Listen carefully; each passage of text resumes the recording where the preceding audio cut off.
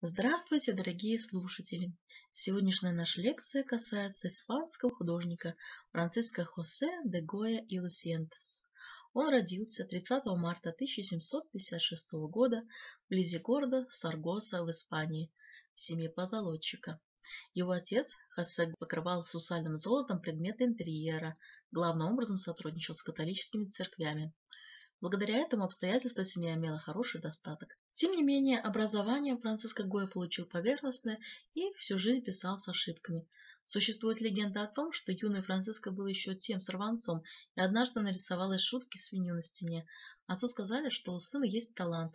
Так Гоя попал на обучение в мастерскую художника Лусана и Мартинеса, картину которого вы сейчас видите. Женой художника станет дочь Франциско Байо, Хосефа. От нее родится Франциско Хавьер Педро, который также станет художником. Этот брак был совершен по расчету. Франциско Гои хотел быть придворным художником.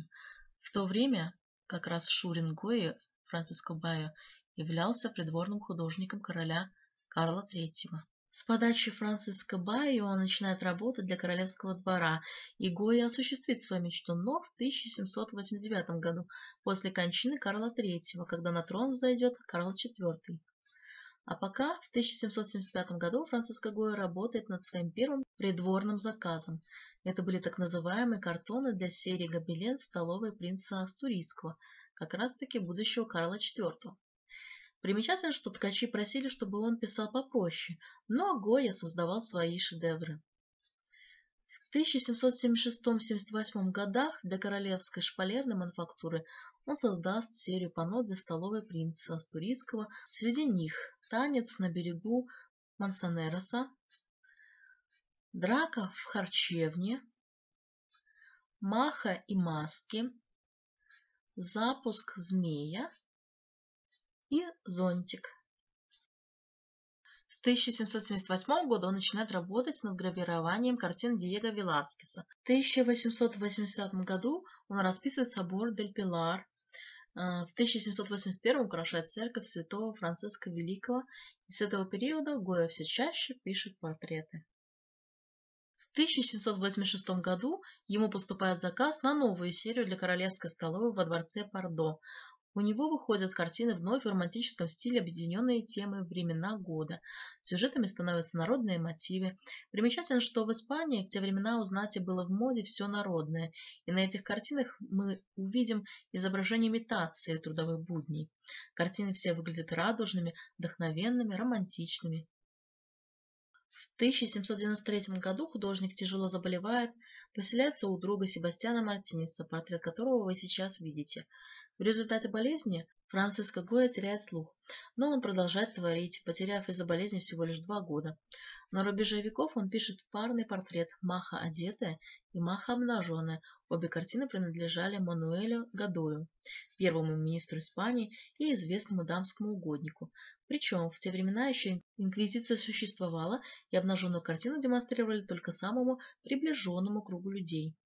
Личность, изображенная на картине, не установлена до сих пор, хотя искусствоведы склоняются к тому, что это была любовница министра. В 1808 году король Карл IV отдал приказ арестовать и посадить в тюрьму Мануэля Гадея. Имущество тоже оказалось под арестом. Причиной стала политическая неверность. В итоге испанская инквизиция обнаружила Маху обнаженную.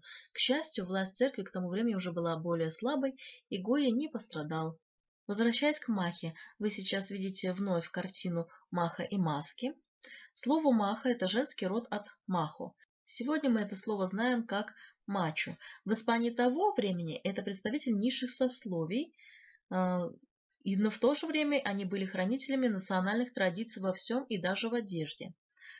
Э, вы можете обратить внимание на картине, что э, мужчина одеты в маски и в плащи. Маха – это подруга Маху, женщина веселого нрава и легкого поведения. В 1799 году Франциско Гоя создает серию гравюр «Капричос». Это сатира на политические, социальные и религиозные порядки. Каждой работе он приписывает слова и в таком виде дарит королеве. Работа королеве нравится, хотя здесь есть изображение ее самой.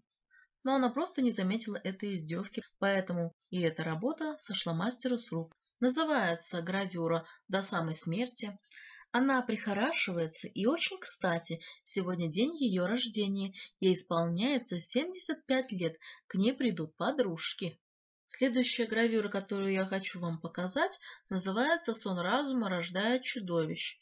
И к ней фраза «Воображение, покинутое разумом, порождает немыслимых чудовищ, но в союзе с разумом оно – мать искусств и источник творимых им чудес». Точь в точь. Он заказал свой портрет и хорошо сделал. Те, кто с ним не знаком и не видал его, все узнают по портрету. У них уже есть на что сесть. Чтобы образумить легкомысленных девиц, нет ничего полезнее, чем надеть им стулья на голову. А следующая гравюра будет посвящена родительскому воспитанию. Называется «Бука идет». Пагубная ошибка в начальном воспитании. У ребенка вызывают страх перед несуществующим и заставляют бояться Буки больше, чем отца. И, наконец, последнюю гравюру, которую я хочу показать, она называется «Нас никто не видел». Монахи призывают паству к смирению и аскезе, а когда никто не видит, предаются чревоугодию. Надо сказать о существовании еще одной его работы, где представлена вся правящая семья. Франциско Гоя весьма реалистично показывает их некрасивые лица, но одевает в очень дорогие красивые одежды, что компенсирует недостаток парадного портрета. С левой стороны мы видим изображение художника. Это автор-портрет. В начале XIX века для его страны наступает сложный период, который он отображает в своих работах. Страна была оккупирована французами, в Мадриде вспыхнуло восстание, приведшее к затяжной партизанской войне. И здесь самые его яркие работы на эту тему. Восстание 2 мая 1808 года в Мадриде, перед вашими глазами, Здесь он показывает все ужасы войны. Бойня, резня. Для Франциска Гоя героем на войне является тот, кто не забывает проявлять милосердие. Здесь на картине героев, конечно, нет. Другая значимая картина называется «Расстрел повстанцев в ночь на 3 мая 1808 года в Мадриде». Мы видим, что французы изображены как обезличенная масса. Перед ними на коленях стоит испанец с распростертыми руками. Такое ощущение, что он кричит.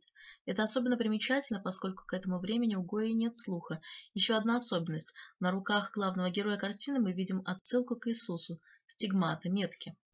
У художника настолько удачная композиция, что она получила свое цитирование и у других художников-последователей Гои. Например, Эдуард Мане «Расстрел императора Максимилиана», Отто Джонс «Уличный бой», «Резня в Корее» Пабло Пикассо. В 20-х годах Гойя приобретает дом глухого. Так этот дом назывался, потому что в нем также до Франциска Гойя глухой человек пребывал. В этот дом он въезжает со своей возлюбленной Леокадией де Вейс, которая развивает, чтобы быть с ним. У них родится дочь Росарита.